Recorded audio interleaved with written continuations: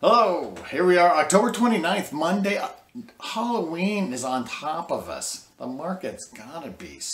No, it's not soft, it's not slow, it's particular, it's picky is what it is. And when you have a nice house like Tom has in South Oceanside, you're gonna get a lot of lookers and we'll be getting our second offer on that tomorrow. Looking forward to selling that. Everything else in South Oceanside has sold. Annie's house on Horne went pending today. The house on Vista Way went pending. That was 900 plus on Vista Way. And the one on Ditmar, that's 1,200 square feet, should be going pending here in the next day or two. So we're going to be the only one left.